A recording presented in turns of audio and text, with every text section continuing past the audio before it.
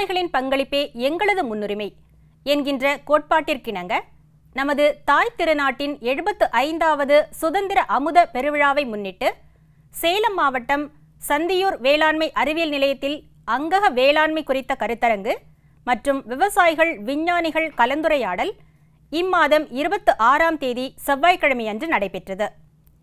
இக்கருத்தரங்கில் வேளாண் அலுவலர்கள் மற்றும் விஞ்ஞானிகள் கலந்து கொண்டு அங்கக வேளாண்மை சார்ந்த புதிய தொழில்நுட்பங்கள் புதிய ரகங்கள் ஒருங்கிணைந்த ஊட்டச்சத்து மற்றும் பூச்சி நோய் மேலாண்மை வேளாண் இயந்திரங்களின் பயன்பாடுகள் ஆகியன இடம்பெற்றன. ட்ரோன் மூலம் நானோ யூரியா தெளிப்பு செயல் விளக்கமும் நடைபெற்றது. சேலம் சந்தியூர் வேளாண்மை அறிவியல் நிலையத்தின் திட்ட ஒருங்கிணைப்பாளர் முனைவர் ரா. ஜெகதாம்பாள் அவர்கள் வரவேற்புரை நல்கினார். சேலம் பாராளுமன்ற உறுப்பினர் திரு. எஸ். ஆர். பார்த்திபன் அவர்கள் கண்காட்சியை பார்வையிட்டார். இயற்கை முறையில் காய்கறி சாகுபடி செய்த விவசாயிகளுக்கு சான்றிதழ்கள் வழங்கப்பட்டன.